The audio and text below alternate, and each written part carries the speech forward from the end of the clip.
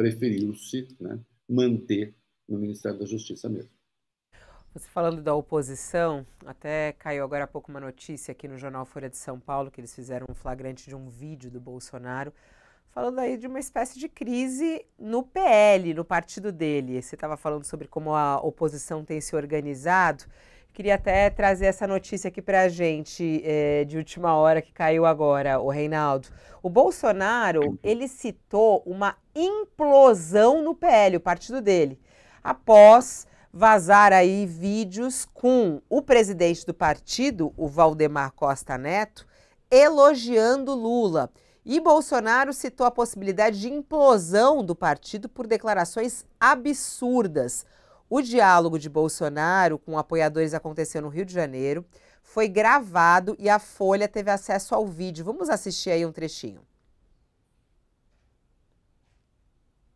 Da política, né? Eu acho que o PL vai vir forte e isso vai fazer diferença lá em 2006?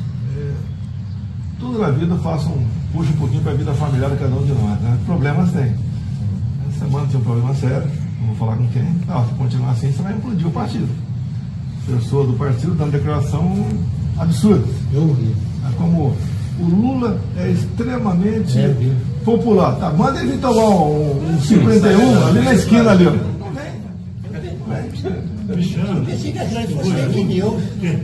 Não consegue nem ir na praia, ele fecha a praia, né? Tá aí um trechinho do vídeo é, que o, o, Jornal Folha de São Paulo Eu não consegui ouvir mesmo, mas, mas, é, o som para mim chegou muito ruim, mas você me é, Então, ele, ele diz, na verdade, uma pessoa faz uma pergunta, é, falando assim, ah, o PL vem forte nas eleições é, desse ano, né, na disputa para prefeitura. E aí o Bolsonaro pega e fala assim: tudo na vida tem um pouquinho da vida particular. Ele falou assim: eu recentemente aqui tive um problema com uma pessoa no partido, não vou dizer quem, mas um, um problema sério. Uh, não vou falar com quem, e se continuar assim, vai implodir o partido. Ele não falou Valdemar, mas fica claro que foi Valdemar, porque aí ele citou que uh, uma frase dando uma declaração considerada por Bolsonaro absurda de que Lula é extremamente popular. Aí ele falou: ah, manda ele tomar uma 51 com ele. É, e aí ele falando que ele quer implodir o partido por ter dado essa declaração. Isso mostra aí o incômodo de Bolsonaro é, com é, essas declarações de Valdemar e como é que está o clima lá no PL.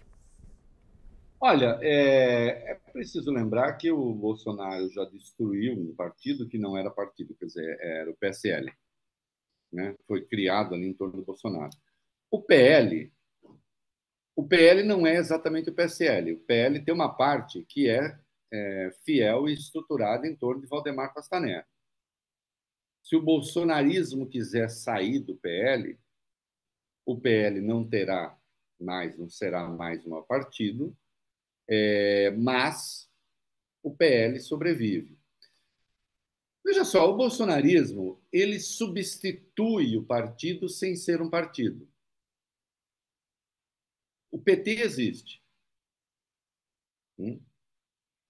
Existe o lulismo, que é André Singer já fez um estudo a respeito. Né? É, o o lulismo é mais amplo do que o petismo, mas boa parte do lulismo é o petismo. E o PT existe. O PT é um partido. A rigor, é um dos poucos né, que tem estrutura mesmo, que tem diretório mesmo, que tem reunião mesmo, que tem reunião mesmo, que as pessoas vão, participam. Então, o PT existe. Né? O Bolsonaro, as coisas ficam na figura do Bolsonaro, só, exclusivamente. Vive, é, até me dói dizer essa palavra, mas vive, digamos, do seu carisma. Porque há quem ache aquilo interessante. Há quem o veja falar, dizer aquelas coisas e, de algum modo, se sinta representado acha que são razoáveis as coisas que ele faz. Né? Se ele é, estiver ligado a uma marca de botina, isso vai parecer uma coisa realmente superiormente interessante. Não é? Enfim, O Valdemar Costa Neto nem foi um vazamento, foi uma entrevista que ele deu. O que ele falou? Ele falou que o Lula fez dois mandatos que foram muito bons. Aliás, o PL apoiou, né? o, PL, o, partido, o Valdemar, então, apoiou. Né? E hoje disse que o Lula é uma figura popular, que tem grande respeitabilidade, que tem credibilidade. Bom, verdade. Aí vai o Bolsonaro. Ah, vamos então tomar uma 51. Depende, Bolsonaro, onde? Nos lugares em que você circula, muito provavelmente o Lula vai ser vaiado. Agora, você não quer tomar uma 51 com o Lula, você toma café, ou sei lá o quê, é, em algumas áreas do país, em que você teve desempenho de candidato nanico, meu filho. Né? Então, negar, inclusive, a popularidade do Lula né, é uma tolice. O Bolsonaro só é capaz de estar num partido que articule seus próprios interesses pessoais. Eu, eu, eu sempre combato a tese que alguns chatinhos no Brasil, que se fingem de liberais, mas que não são, é só uma gente aborrecida, desinformada, é, diz assim, ah, o, o lulismo é o avesso do bolsonarismo, o bolsonarismo é o avesso do lulismo, mas na verdade eles se combinam. Não, isso é mentira. Isso é mentira. Hum? É, quais são as teses do Bolsonaro para o Brasil? Quais são? Por que, é que essa oposição está aí faz um ano e ela se limita a tratar de questões de comportamento. Nada além. Né? A criar fricções nessa área. O que é que ela tem? Qual é o postulado? O que é que tem engendrado? Alguém vai negar que em um ano de governo havia e há uma ossatura nesse governo? Esses tontos que ficam repetindo isso esperavam, por um acaso, que se tivesse aprovação da reforma tributária já nessa altura? Ou que se tivesse o arcabouço fiscal, como ele está pensado, ou que tivesse um ministro da Fazenda, eu posso nem concordar exatamente com o déficit zero, mas realmente empenhado em fazer o déficit zero? E que tem, portanto, um norte de política? O Bolsonaro não tem nenhum que não seja o ódio. Esse é o ponto. E vive cercado de pessoas que dizem que ele está certo. E pronto.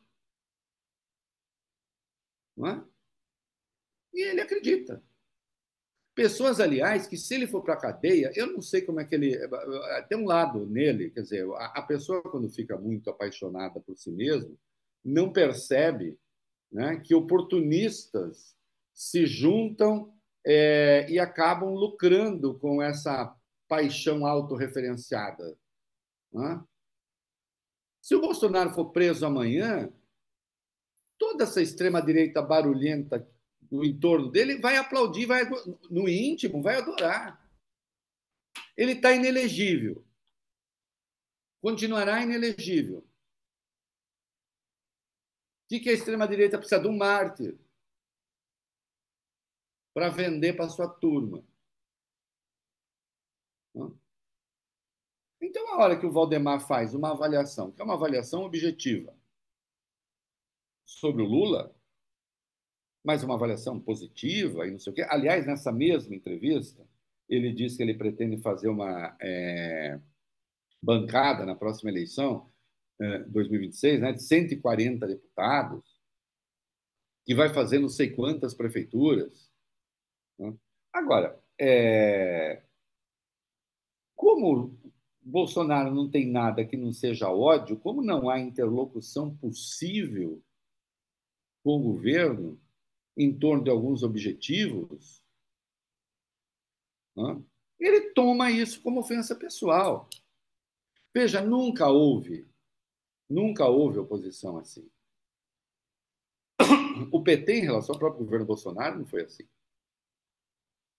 Né? Há um momento que você vai discutir.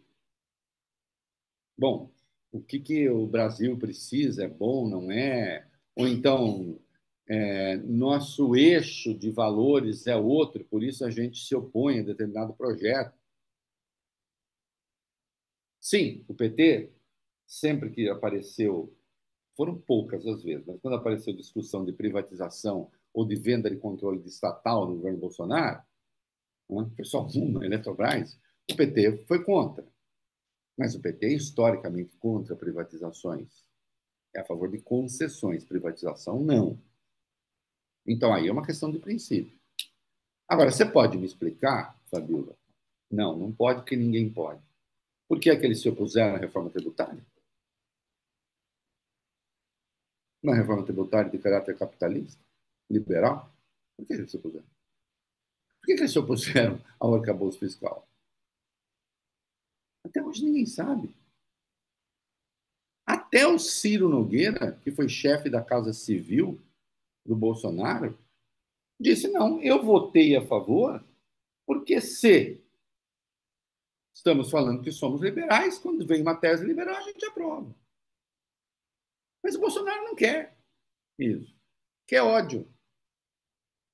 Uma oposição que não conversa. A gritaria. Porque assim ele se fez. Essa é a praia dele, é disso que ele vive. Sem isso, ele não existe. Se não for o ódio, ele vai vender o quê? O Reinaldo, é, eu, eu, queria muito te ouvir sobre Bolos e Marta, né? É, até para correr aqui, porque a gente tem um quadro novo hoje. Mande perguntas aí para Reinaldo Azevedo. Daqui a, daqui a pouquinho a gente vai, ele vai responder. Já recebemos várias perguntas ótimas aqui. Mas entrando já nessa pergunta, queria te ouvir. Qual é o peso